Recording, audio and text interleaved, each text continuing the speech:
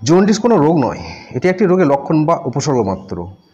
Liver বা যকৃতে পিত্তনালীর পথ যে কোনোভাবে বন্ধ হওয়ার উপক্রম হলে তা জন্ডিসের লক্ষণ হিসেবে প্রকাশ পায়। আজকের এই ভিডিওতে আমি জন্ডিসের লক্ষণ বা কারণ নিয়ে কোনো আলোচনা করছি না, কেননা এই নিয়ে আমার একটি ভিডিও রয়েছে। ডিসক্রিপশন বক্সে লিঙ্ক দিয়ে দিয়েছি, আপনারা চাইলে পরে দেখে নিতে পারেন। আজকে আলোচনা করব জন্ডিস হলে কী খাবেন আর কি খাবেন না। এখন বলব কি কি খাবেন? এক, টমেটো।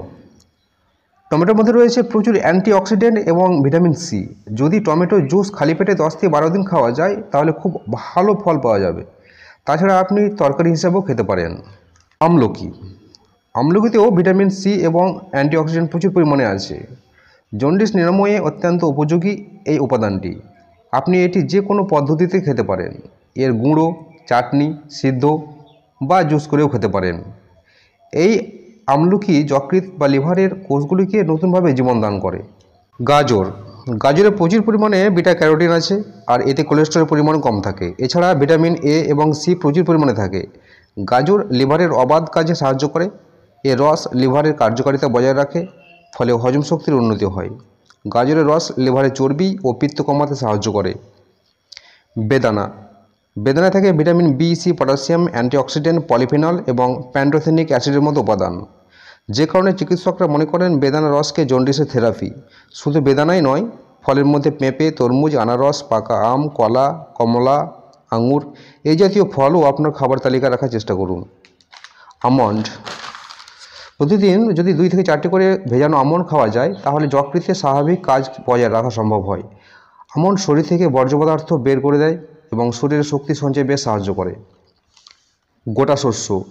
কার্বোহাইড্রেটের চাহিদা পূরণের বাদামি চাল, রুটি ও ওটস খেতে পারেন। গোটা শস্যে প্রচুর আঁশ বা ফাইবার এবং ভিটামিন থাকে, যা লিভারের ক্ষতিকর টক্সিনগুলোকে খুব সহজেই বার করে দেয়। আখের রস। জন্ডিসের বিরুদ্ধে লড়াই করার ক্ষেত্রে আখের রস আপনার অন্যতম অস্ত্র হতে পারে। এই পানীয় যকৃতের কার্যকারিতা বাড়াতে বেশ সাহায্য করে। তবে যারা ডায়াবেটিসে আক্রান্ত, তারা অবশ্যই এই আখের রস থেকে বিরত থাকবেন। জন্ডিস ও অন্যান্য যকৃতের রোগ প্রতিরোধে আখের রসের বিকল্প নেই বললেই চলে। লেবুর রস। লেবুতে ভিটামিন সি পর্যাপ্ত পরিমাণে আছে। লেবু পিত্তনালী পরিষ্কার করে। লেবু বা বাতাবি লেবুর রস শরবত জন্ডিস রোগের জন্য খুবই ভালো। খালি পেটে পাতিলেবুর রস খেতে পারেন, এতে খুব ভালো বেনিফিটস পাবেন। তবে বলে রাখি যে, এই খাবারগুলির পাশাপাশি অবশ্যই বেশি বেশি করে জল খাওয়ার অভ্যাস করবেন। কেননা যত বেশি জল খাবেন, আপনার ভিতরের নোংরা বা বর্জ্য পদার্থগুলো খুব সহজেই তা বেড়ে যাবে।